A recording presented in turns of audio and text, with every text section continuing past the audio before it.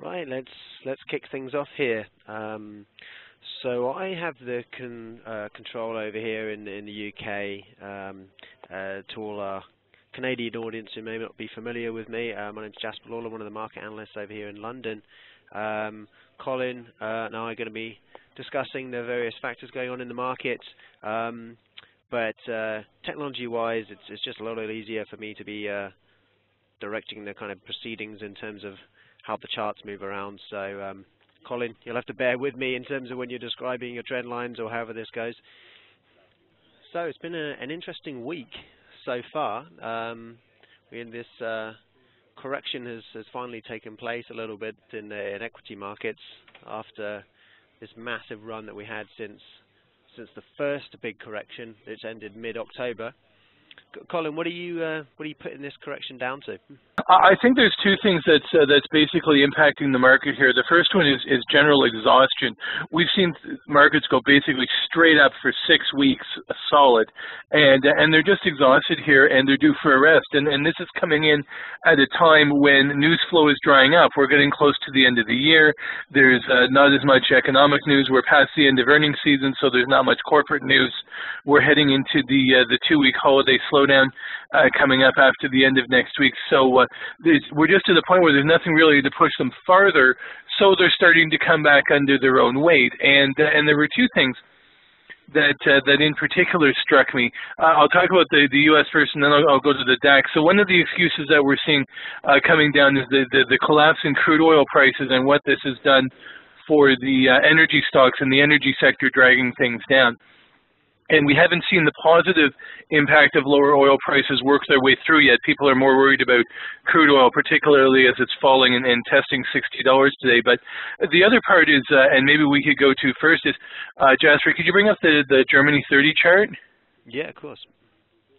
Uh, was uh, well, I was sitting here looking at the DAX last Friday and seeing it at all-time highs, and and everything you've been hearing about the German economy is that it's been in trouble and it's it's it's rolling over, and because Germany's doing badly, the ECB's got to bring in new stimulus. Something doesn't jive. It's like even if you do bring new stimulus, so it it wasn't all adding up. And and if you look here, you now have, as as Jasper shows, you've now got a big double top in in the in the Germany 30. You've got one back in June, which was actually a, a triple top, and now you've got where Jasper's put the arrows here, uh, another significant top. Uh, for the DAX, and and this one is is more of a a breakdown on on the basis that the uh, that the, the fundamentals are weak, that the European economy is rolling over, and, and the DAX is coming down basically as it should be. Did you want to add to that, Jasper? Yeah. And maybe you want to talk about the auction this morning. Yeah, it is. Um, it is a bit of a laugh when you see um, markets make new all-time highs, yet there's talk of borderline deflation and a contracting economy. Um, it, uh, it certainly doesn't quite add up. And I suppose the only reason it does add up is that the markets weren't really trading off the uh, fundamental basis of the economy. It was just purely a, a play on stock markets being one of the primary beneficiaries of potential QE from the ECB. And um, even though it didn't make a lot of sense, I mean, what was your feeling when, um, you know, when we sort of there was a few levels on the way up, which you sort of, I personally personally sort of felt could have you know, this this area was almost a sort of topping formation and would have made sense for things to roll over. But when you saw things break up here again, I think this was just some sort of jawboning by Mario Draghi saying that, you know, quantitative easing was imminent. What, what, what is your feeling at this point? Even though you know fundamentally uh, it doesn't make sense as far as the economy, do, do you still try and ride this trend higher, or do you wait for the top? How are you how are you looking at this as this was uh, was progressing?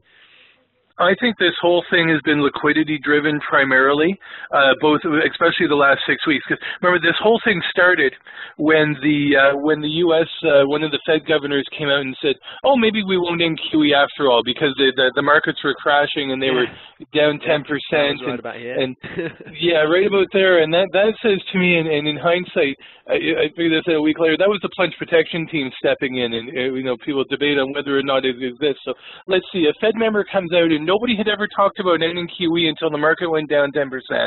Then it has a massive rebound, and oh well, maybe we'll end it after.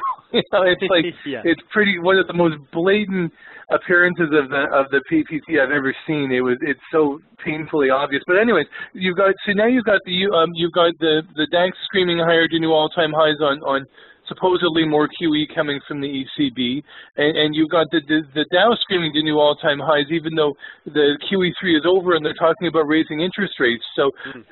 something's got to give. One of them, one side is right and one side is wrong, and you can't have both of them at new all-time highs at the same time in that kind of environment. So I think what we're seeing now is that things are starting to crack and, and things are starting to crumble, and and um, and it'll be interesting to see what happens next month at the ECB meeting, particularly in in light of uh, the LTROs this morning were, I guess you had said in line with expectations, but I think there's still the original program was supposed to be 400 billion. It was 200 and change, and uh, just a little bit of change.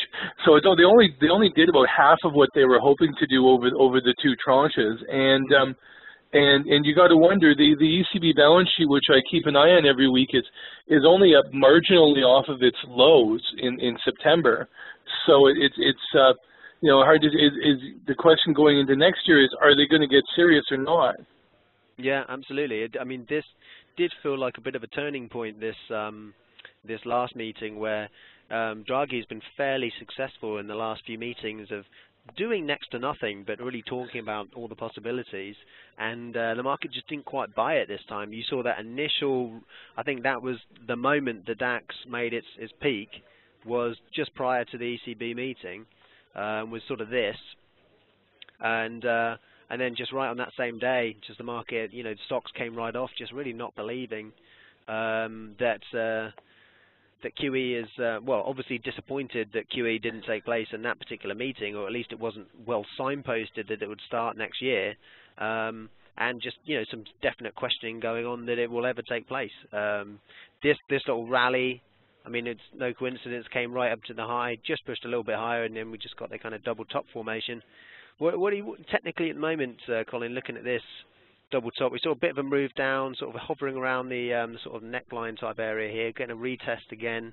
See, there's a slight chance of this one failing. What, what, do you what do you think here? I mean, it's uh, you know, it's, it's looking to me like it's ready to fail. And and even I was looking at the Dow this morning, and it kind of popped back up to 10.6, and and it was starting to fail as well. So when you start seeing these these support lines get broken and then come in as resistance, is is clearly bearish for uh, bearish signal for the uh, for the markets. And yeah. even though down here at the bottom you've got an acceleration in the RSI, that's just a, a trading bounce as long as that stays below 50. And uh, and so as you start seeing the lower lows and even the rebounds get contained by previous support levels, that's generally speaking a sign that we're into a into a correction. And we haven't really corrected very much. We've still got some some downside just to the um, like the 23% retracements or the or or you know 50-day moving averages or things where you often see corrections go to first, there, there's still quite a bit of downside before you reach those kind of points. Yeah, I mean, it's been interesting to compare the um, Germany 30 with the UK 100, which saw a sort of similar formation, and this one's just completely tanked down to the 50% mm -hmm. uh, retracement obviously having not even made uh, new all-time highs, not even the highs from from September, um, you know, the UK is looking a lot weaker here, and I guess that maybe does relate slightly to this whole oil scenario, Colin, where uh, in the UK we do have mm-hmm. um, some oil production still taking place, so we're not a total uh, beneficiary of, of lower oil prices as an economy, and um, yeah. we do obviously have some major oil companies on the on the FTSE 100. So um, absolutely, I think the FTSE is one of the more uh, higher weighted for energy indices out there, and probably of the of the big indices, probably the one that's the biggest. It'd be like the UK index, then the like the Canada and Norway and Russia indices obviously would be would be next in terms of their uh, their oil exposure, but particularly to to big caps as a percentage, I think you'd be looking at the UK. Even in the US, there, there's a number obviously a number of, of big big big oil companies in there, but as a percentage of the overall index, they're not actually that big. Even at the peak, I think I think oil topped out at something around 14% of the S&P. Mm. Whereas when you look at like um, a healthcare or a tech or financials, top out above 20. Yeah, yeah, absolutely. So even if it and if it when, with it coming back down, maybe it ends up around know, eight to ten percent of the S and P. It's not. It's not. It's not one of the big sectors. It's it's still one of the smaller sectors in the uh, in the U.S. index relative to to what it is in in some of the other indices. In in Canada, it's twenty percent or more. Yeah, yeah. Um, it's funny how they, uh, you know, you've always got to be careful when you're when you are looking at markets in general when you're working with the indices.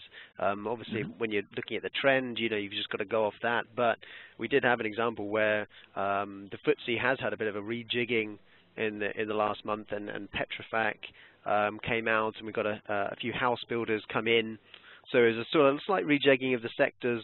Um, so you've got to be aware of this indices type effect when you are looking at um, the uh, markets in general. If the FTSE had remained its same, it, it could be even worse right now. Um, uh, yes, absolutely. That's why you want to keep an eye on the on the weightings of all the indices that you're trading. Because sectors are important.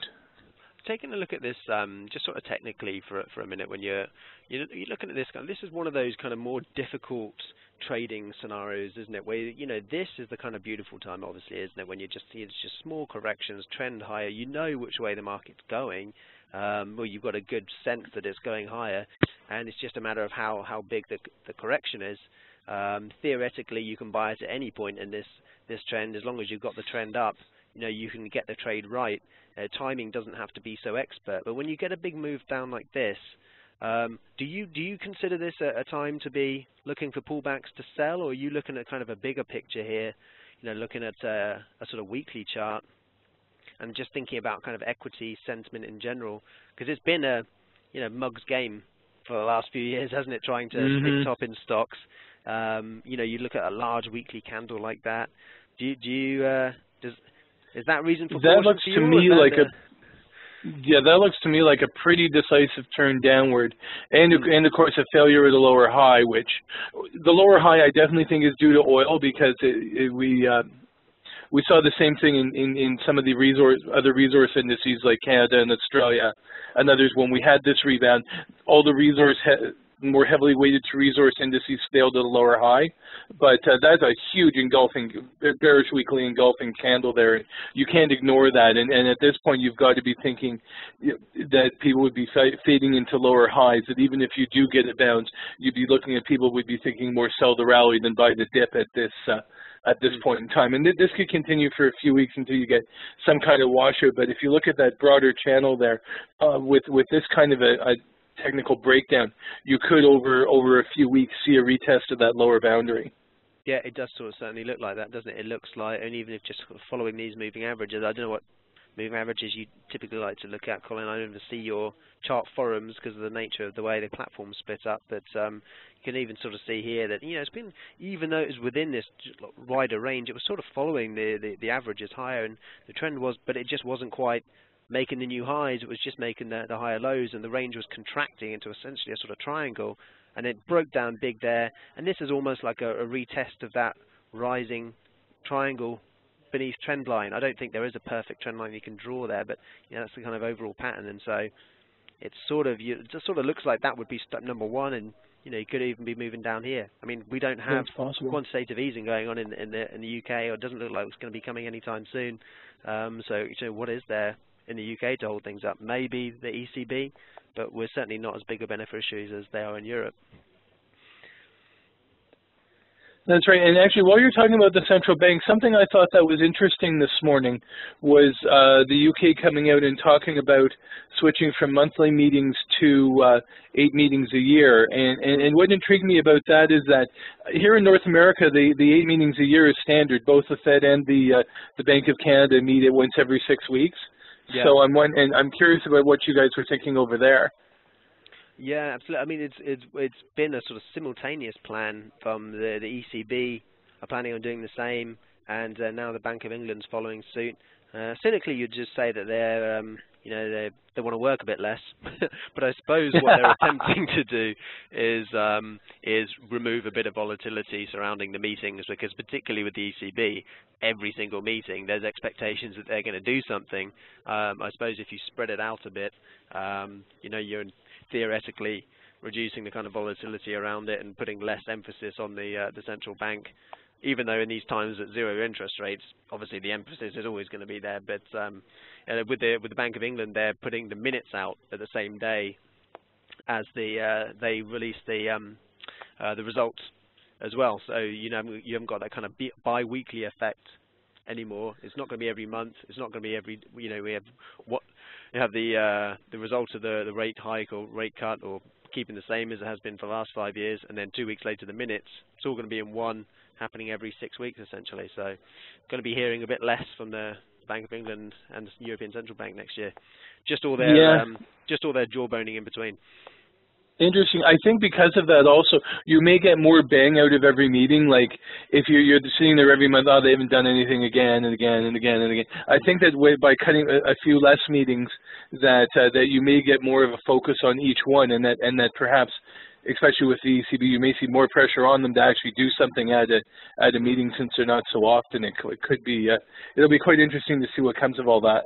Yeah, maybe maybe news trading becomes a, a bit more of a sort of uh, viable technique if we're looking for sort mm-hmm. of uh, you know if we're trading the euro around these ECB meetings or the or sterling around these meetings. You know, if we get a few more pips gained in and around the announcements, then you know just any kind of uh, you know, for those of you who've tried trading the news results, what you'll often see is just the price far off in one direction, often with a sort of gap in between, just because of the nature of the way the market works. You know, you've got market makers out there who have a certain decision about where they want to price the market, a bid and an ask. Before the result, after the result, they're pricing the market somewhere different, and there's nothing that happens in between. So you get a big gap, and it's very difficult to trade that. But if there is going to be an extra number of pips after that gaps takes place because of the sort of uh, extra emphasis and importance of the, the meeting, because they've happened less often, might make the technique uh, a bit easier to pull off. Do you, do you ever try anything along those lines, Colin? Uh, not with trading, no, but I, there's certainly uh, no doubt that with the, um, uh, uh particularly around the uh, around the Fed meetings, even more than the Bank of Canada, because they haven't done anything in four years. But uh, every Fed meeting gets a lot of attention here, both before and afterwards. No question about it. Mm -hmm. um, so I guess, well, when we're talking about the sort of Fed and things, it's been interesting to look at, at gold. Um, you know, it was looking pretty bad at one point, Colin, when we when we had this decline through this long time support of mm-hmm. uh, 1180, and um, uh, to myself, to my credit, I put out uh, a video saying that you know this is the the beginning of the end. We've broken through. Uh, we're looking at sort of uh, sub $1,000 gold. Well, it's not quite been the case yet. Still could be, but um, almost a bit of a shakeout beneath that 180. What what are, what are you making of it? Yeah, I think we had a pretty good washout there. I think what happened was that, that was a surprise and what what changed things was that the um, the Indian India, India dropping their import quotas mm. uh, just in time for wedding season, and I think that's what's turned that what turned it around in the short term. But yeah. you're still struggling here, and and the reality is is the gold is it goes back to the ECB again, and over the last five years, which I know we don't have a chart on this, so I'll just explain quickly. Over the last five years, gold has gone up with the EC balance sheet and it's gone down with the ECB balance sheet. So when the, the ECB was flooding the system with money uh, a few years back to, to deal with Greece and everything, it totally took off, and then and, and so did gold. And then the last couple of years, the reason why gold's been coming down, people thought, you know, I, I originally thought, and I was wrong, I thought gold would above, go above 2,000 when the Fed brought in QE3. What ha- instead, it came down to uh, to uh, under 1,200, and, and what happened was that, that gold's been following the, the euro balance sheet, and, and what's the euro balance sheet shrank by a trillion euros over the last two years as banks paid off all the, the, the first round of LTRO loans. So now we're at a turning point, and, and so we've gotten this nice bump from India, and uh, and perhaps gold got oversold, and we've had some short covering and people getting squeezed out of positions. But at some point, that's going to run out, and then we go back to the ECB, and we have to say, well, for the last six months, the ECB has been talking about uh, rebuilding its balance sheet and putting that trillion euros back in. They haven't done it. Um, even the, the first LTRO auction never really did much for its uh, its balance sheet because banks were still paying repaying off the old ones, and uh, and so we're at a point where we're only 30, 40 billion up off the low, and uh, and we've they've still got a long way to go. And and today's auction will help a little bit, but but not a huge amount. And so the the, the question is, are, how are they going to step up next year to really get it going? And if they really get uh, asset buying going and, and get serious about reinflating their balance sheet, that would be good for gold. If it doesn't, and and they stall again, we could see gold stall at one of these levels and, and, and roll back down again. So it depends on a lot. I think is really hanging. The gold market's really hanging on the ECB at this point. Yeah, yeah, um, yeah. And I guess in terms of its sort of uh, you know, it's a kind of longer term range. You you can see that it's um, you know, like you said, we had this massive period of expansion, contraction, but then there's been neither or, and so we've been stuck in this uh, sideways range. And um, mm-hmm. even though it did break out here, that wasn't quite the fundamental catalyst for it to actually happen. I mean, obviously, people, you know, you look at gold um, making that multi-year low, and then you look at the DAX making its all-time highs, German bunds at record lows. The, clearly, the the bet out there is that the ECB is going to do something, but the matter of the fact is they haven't actually done it yet. So there's only so far it can go. Yeah, the one thing I do think is I think we're in for increased turmoil in Europe next year, and that may be the catalyst that finally forces them back to do something, just like it did in in 2011 when when the crisis really hit. Um, my I've been looking ahead to next year. Yeah, I, yeah. I suspect that that Syriza is going to get in and and shake things up, which in some ways is a concern. And in some ways, it's it would be helpful because the last two years, I think they've just kind of taken advantage of the lull to and, and frittered their time away. And I don't think they've done enough uh, on either side, the, the political side or the central bank side, to really deal with the uh, the problems that were out there. I think they've they've kind of taken this as a as a uh, oh great things settled down. I guess we've done enough. When really they hadn't. Things settled down, and they had a two-year honeymoon that they, as far as I'm concerned, they frittered away. So maybe they yeah. need a kick from. Uh, a kick from something, whether it's uh, the the potential Greek elections, from the UK elections, from from something else, from a recession in Germany, or or whatever hits. Uh, and, and I think I think several things could hit next year. It could be all of them, or, or none of them. I mean, who knows? But the point is, I think it'll finally, hopefully, kick them into gear to make them do something.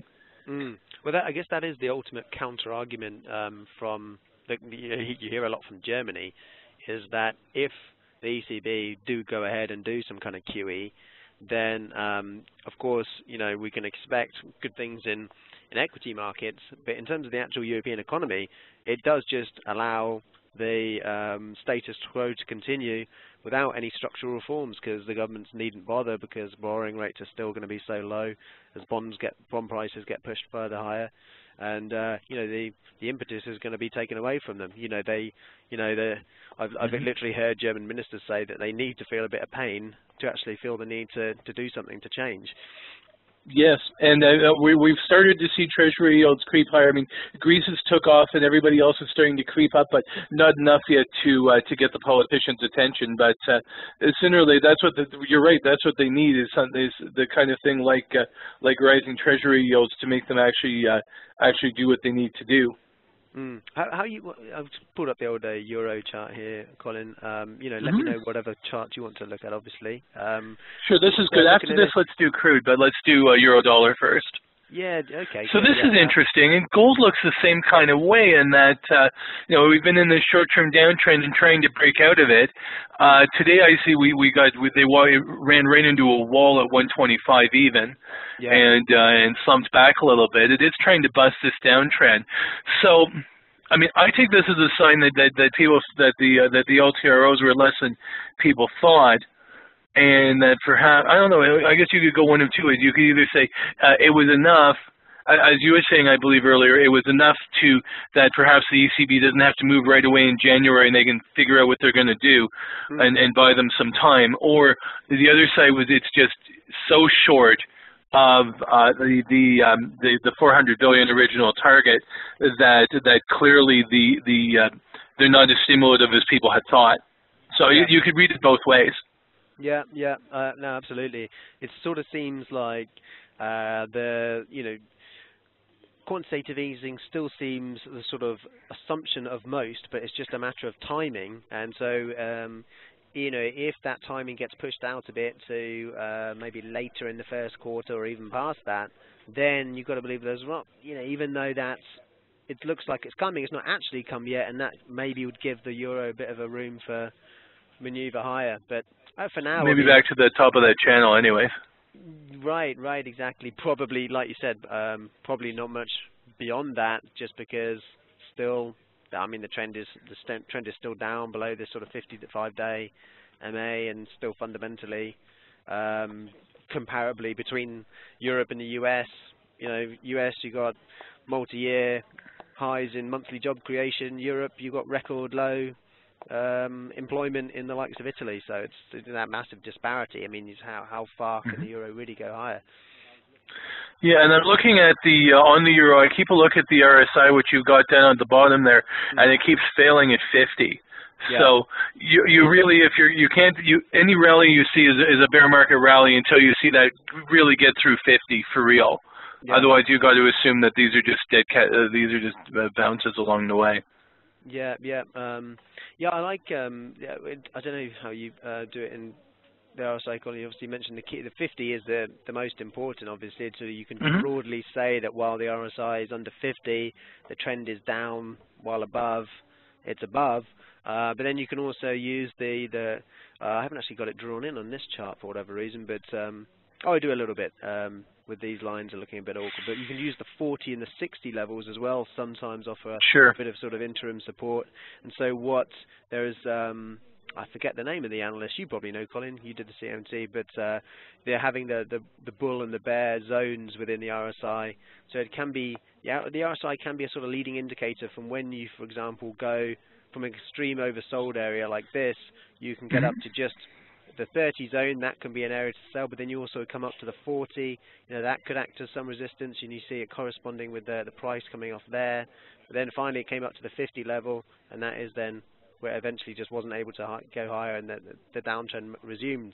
Um, if you could, if yep. you actually seen some kind of move up to 60 perhaps, and then it bounced down to 50, and then it held above 50, that will sometimes correspond with a, a change in the direction of the trend.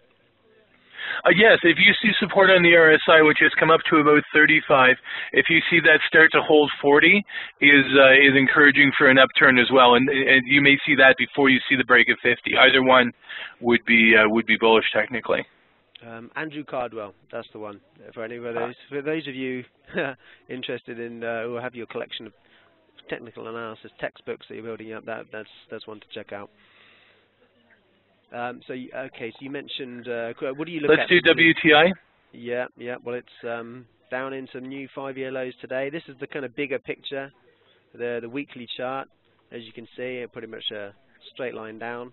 Then that has totally, totally broken down. That's a massive, massive trend line. It's taken out the long-term support, lowest levels in the decade. And today, for the second time, it's testing 60 and uh, and so far 60 is held. It's bounced off of it twice this week. Yeah. The the question is how long did it last? The, the the bounces haven't been very enthusiastic, and they keep peaking at lower highs. And maybe it gets washed out for the short term, but I still think this downtrend's intact. You can see it's getting pretty oversold down on the bottom there. Mm-hmm. But uh, but as we saw with the yen and, and looking at it the other way, things can get oversold and stay oversold for quite a while. Yeah. Um, yeah. So I think you might get the odd trading bounce here, but I don't think they're going to get very far. And um, the next measured with support was around 56 and a quarter, but I have a gut feeling I think you're going to see a test 50 before this is all said and done. Mm -hmm. Yeah, I mean that's, that's um, a psychological thing, and I think you're going to need. It's not going to end until you get some kind of real real capitulation and, and real washout and and something that really freaks people out and gets their attention and it could be I think it might be 50 is yeah. is a possibility. Yeah, the, I, um, I sort of thought it was interesting when we had the uh, the OPEC meeting and um, there was all the sort of talk uh, before and after, and it did seem like there was almost a bit of a coordinated message amongst a lot of these oil ministers. That at the time, um, I think a bit post the meeting, uh, the, it was about seventy dollars a barrel. Um, and a lot of the ministers came out and said, uh, we think it's probably dropping down to 60, but that's where the market should settle. And so that mm -hmm. was a sort of convenient $10 below the current price level. And you sort of think, well, maybe they're, you know, they're trying to be a bit hopeful there, but they sort of think perhaps it can actually go to 50. So looking at those sort of $10 increments, you sort of think just on, uh, just on that, on, on that little theory alone, sort of 50 somehow makes somehow makes some kind of sense. And um, sort of technically, we can say that you know 50 does obviously make sense. Here is the, where we had this kind of basing after that massive correction in 2008. Mm-hmm. We sort of had the breakout there, the touchback on 50, and then uh, and then we saw. What was that low back then? Around 35. Yeah. Um, the 08 low. That one. 35, 11. 35 and change, yeah. Yeah. So, well, I guess that's that's a distinct possibility. 35. Do you think, Colin, or 50 is going to well, a bit of resistance there. I think 50 because I'm. Yeah, I think the 2008 probably was more of an overshoot to the downside because you had the financial crisis and a recession. Mm. Whereas this time you've got it happening in, at least in the United States and the UK, reasonably robust economic times. Yeah. So I don't think you'll see necessarily 35 again, but you can't rule out 50. Yeah, absolutely. Yeah, the reason I had these little um, highlights on here was just a good example of sort of, um, you know, don't uh, don't fight the trend because we had these little mm. sort of engulfing patterns um, but when the trend is this steeply down, you need a bit more confirmation. It should be, uh, the way I look at it, is the first sign of some strength coming back into the market, but it's not the actual final trigger to get long, um, at least on any kind of sustained basis. You know, maybe for, you know, if you're going very short-term trading, you look at that engulfing candle, you think maybe a couple of hours the next day you might get some further move higher, but any long-term move, you know, that this this pattern in itself, even quite a big one like that, coming off what I had as quite a long-term support, doesn't necessarily work as we're seeing. Yeah, and and the other thing that I think it's important for us to, to, to think about is how long could these prices stay down? I don't think you're looking at a V bottom here because you're coming out of a um, this is a this is being driven by a price war and by a, a war among the suppliers even if oil, you you may get these trading bounces, but I don't think you're going to see it come roaring back above 100 bucks anytime soon either. The uh, the Russians were out this morning with their uh, interest rate increase and saying basically they think the uh, oil could stay, could average around 80 for the next three years. So I think mm.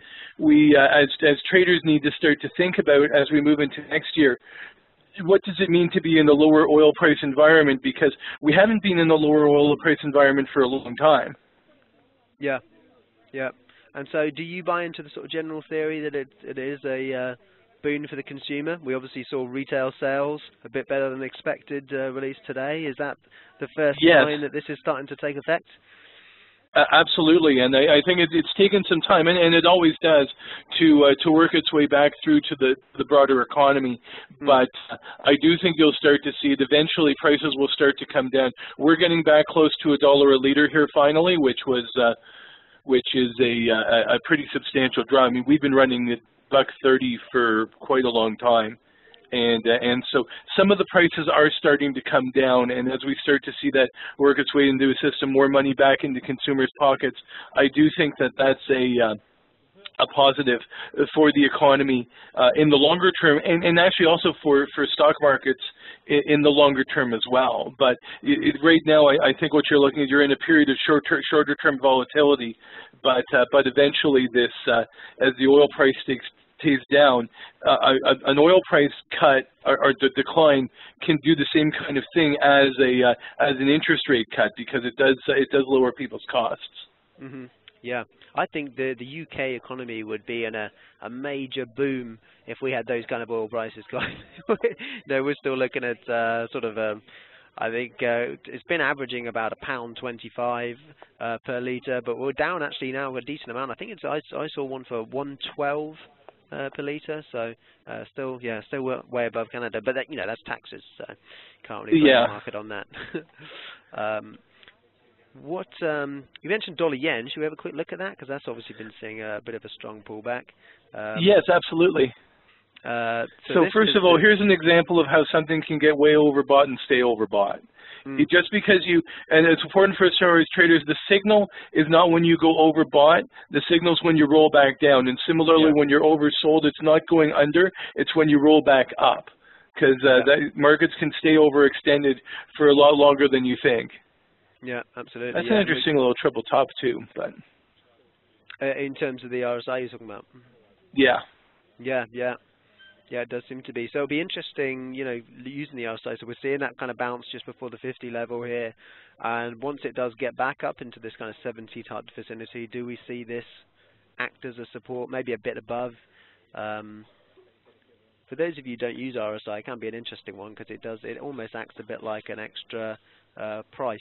Um, so maybe maybe moving into that area, you know, that'd be a key. Yeah, I think if you if you look back at October Jasper, uh, the the previous one where it broke down and you saw it break and then it and then the retest and then it and then it dropped and you that pretty much that failed retest there uh, that failure to get back above 70 pretty much lined up when the price really did start to fall off. Yeah. Pretty much bang on.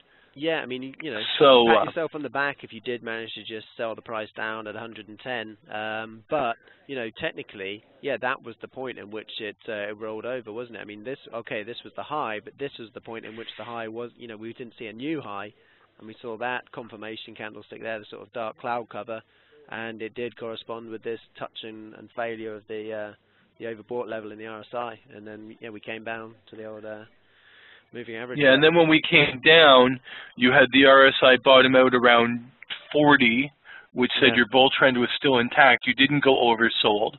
yeah, So what we'll be watching for, not only do we watch the price here, but we watch the RSI. Does it does it get back up above 70? Does it fail? And then when it rolls down, does it roll under 50 to confirm a downtrend? Does it take out 40 and, and, and so on? yeah, yeah. The RSI um, is an incredibly powerful tool for trading. When you um you know so uh, Colin, you know just out of interest when you're when you're sort of timing your um uh you know your your you know, your timing your sort of entries in, in, in the market. Um, Mhm. You know, say we say we're looking at this benefit of hindsight, obviously, but we've got this kind of double top maybe formation here with this RSI support. Um, Mhm. Are you um, you know, are you sort of say say we break down through here, we sort of a little breakdown. Do you um, this is not maybe the best example of it actually, but when you see the price breakdown from an area that you could think is a significant area of support, say say around um, this sort of 108 type level, Mhm. and then you see a retest, do you would- you know do you are you a proponent of using the price level itself and um, placing the order around there, or are you more a proponent of waiting for some sort of uh, confirmation through an indicator rolling over like a like a stochastic or something or a or a candlestick pattern confirmation. You know it's kind of the pro and con always and I have this discussion a lot is well obviously if you get that confirmation in this case it's a lower price so it's not as good to sell at but you have a bit more information that actually the trend may continue. Obviously the counter counter argument is that you know if you just traded off the price alone you probably would have get a better entry but just maybe slightly less sure that the the trend's going to Yes. Yeah, I usually that's why stop losses are important because if you go in, the more uh, you're right. I mean, the more indicators you have that come together, the higher your confidence level. But you're, you have to give something up for to to get all that that level of confidence, right? So you may go in earlier, but if you go in earlier, you have to be be in with hard stops and be prepared to to go if it doesn't work out for you yeah yeah if it And doesn't come together. And normally, because I mean, there, there's three times to answer a trade if you're looking at a pattern. One is anticipation that the pattern will go your way. One is on the breakout, and one is on the retest. Yeah. So the more conservative people will wait for the retest, but give up a little bit of their upside. And the more aggressive people will try and capture the upside, but take on a little bit of risk. And so what's important is if you're going to go earlier, is to have a plan in case it doesn't go your way, and to have a stop loss in there. That's the that's the key thing. Yeah, yeah, and one of the most annoying things of, of trading patterns is obviously the false breakout, and um, it certainly happened to me a few times where you, you know, you're feeling fairly determined about a pattern, you you know, you trade the breakout, you get sort of three false breaks, and you think, and then th- that final one when you capitulate and think, okay, that's it, I'm done with this trade. That's the one where it does break out. So it's this, uh, it's the, the psychology. Yes, comes indeed. Uh, Never fails. yeah. Um, Okay, So, well, uh, we're doing pretty. How are we looking at Go ahead, timing Jasper. wise? No, I was just going to say how are we looking at timing wise, Colin. When is this supposed to wrap up? Was it was it half Um, past or was it um quarter? Well, we usually go about 45 minutes, so I was going to Yeah. say we're probably at a point where it's a good time to open the floor to questions. So I just think I hear on the on the yen, what we want to watch for is with the yen and keep an eye on gold too. Is that the other thing we're finding is now that we're starting to see volatility come back, some of the complacency may start to go away. You could start to see more interest coming back into gold, back into yen than than we've seen uh, more recently. So so keep an eye on that as uh, as we do get more risk and more volatility, and if if political risk starts to come back again, then you could start to see gold and uh, and yen get more active on that uh, as well. So I, I'm pretty much I'm good here. If you, there was anything you wanted to mention, Jasper, before we open the floor to questions. No, no. Um, uh, well, I think I'm. Yeah, I'm okay. Um, so do do any of you chaps out there have chaps and chapesses have uh, any questions for, for Colin and I about the kind of things we've been discussing, or if you have a completely different market that you're trading, um, obviously throw that out there as well. Okay, so I don't know if you see these. Um, do, you, do you see the Q&A as well, Colin? Uh, yes, I'm looking at the question here, so I'll, I'll read it. Okay. Um, Hello, uh, question. Previous Germany 30 trends have been signaled by a one-day hammer tick, on, uh, such as on October 16 or September 19, with UK 100 and US 30 corresponding. Is this a technical you would look for to confirm a downward reversal? Thanks. Yes, I keep an eye on. I look for markets and I look for confirmations, and I look whether or not it makes sense. So uh, over here, usually when we uh, when we're looking at, at breakouts by the Dow, you're looking at uh, industrials. You're looking at the transports for confirmation information and or the Dow transports and industrials to confirm each other. Now, we unfortunately don't have the transports on here, but you can usually find it on um, on some of the, the, the news sites like Bloomberg and things like that, or, or, or stock charts. The um, so that's one that I look for. So yeah, I do look, I do think it's important that uh, the indices confirm each other, and when you get non-confirmations, is uh, is quite significant. Such as we saw recently, where last week where we had the uh, the the Germany uh, trading up at new highs, and uh, and the FTSE nowhere even close. And you do yeah. get uh, you do I do watch for uh, divergences and, and non-confirmations. I think they're really important, and and even in the U.S. I also look at the uh, the large cap indices versus the small caps. So you know it's is uh, uh, like the Russell, for example. Yeah. or uh, or the Nasdaq because I look at the Nasdaq has a lot of momentum stocks on it, so it tells you what's got, kind of going on at the margins. Yeah, I mean, it's a good tool that um, that you guys can use that um, hopefully you're aware of, where you can just obviously overlay the uh, the charts on top of each other there, and you um, you know you can start to get a, an impression as to which one is is um, outperforming for one, but then at least even if one's outperforming the other, you know which one is um, you know is one leading the other. Um, so you know we're seeing uh, Colin mentioned the, the small caps here really not quite doing as well as their um, you know more broader uh, sorry as their more narrow blue chip counterparts. Um, so you know is this sort of potential uh, head and yeah. shoulders that there's maybe going on in the in the Russell in the small cap 2000 as we call it? Is that telling us something about what's about to happen in the, the US 30? Certainly may not be, mm -hmm. but certainly worth watching. You especially have to be careful with the Dow because it's only 30 stocks. You only need to move four or five stocks to move the Dow. Mm. As we've seen uh, with Exxon and Chevron of late. Yes. Yeah, it doesn't take much. You only so you can have a Dow move concentrated in a very small number of large cap stocks so that's one that uh, that index that I do uh, I am particularly careful with when you watch and you look for confirmation. So you see something in the Dow, the first thing I do is look to the S&P, which at least is a little bit broader. Yeah, yeah, yeah. Um, so I hope that that answers uh, your question there. I mean, I, I, guess in terms of the candlestick pattern, um, goes back to what I was saying before. Is certainly the uh, hammer pattern is um, a hammer pattern or a shooting star um, you know, reversing an uptrend are definitely strong patterns. And you, with the benefit of hindsight, you look back and you see uh, where markets reversed. More often than not, you, you see a hammer there because that's just a sign of momentum. You know, the change of uh, um, power coming into the market, sellers turning to buyers, and if it all happens in the space of one one period or you know one day, whatever time frame you're looking at, all the stronger indication that change in power has taken place. Uh, but it is more like a first sign, I always think.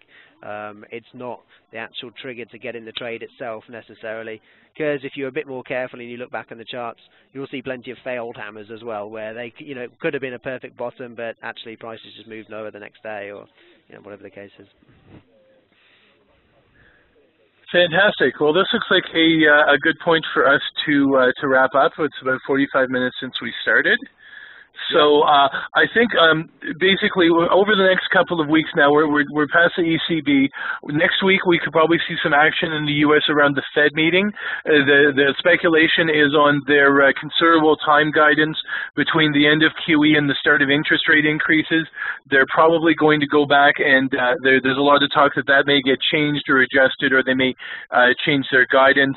This is the last meeting before the voting structure changes, so it's the uh, some of the hawks Hawks it's their last stand for a while until they uh, until they rotate off. Now other ones will come in, but still you could see the uh, a bit the Hawks trying to push their agenda a little bit more while they have the opportunity, and uh, and so we'll see quite a, we, we expect to see quite a bit of action in that off of the uh, uh, that's the next big thing between now and the end of the year. Absolutely. Well, good luck trading to all everyone who attended. Thanks, thanks very much for showing up. Um, what, do you know when the next one of these uh, is, Colin? Uh, it will most likely be with uh, Colin and Michael, uh, the next one. But I, I suppose yes, it's Thursday, January the wait five six the fifteenth. Uh, Thursday the 15th. Friday the 9th will be the non-farm payrolls webinar, and Thursday the 15th will be the analyst debates. Perfect. Great. Well, that to look forward to. Yeah, thanks again, everyone. Cheers, Colin. Thanks. Thanks, Jasper. Thanks, everyone.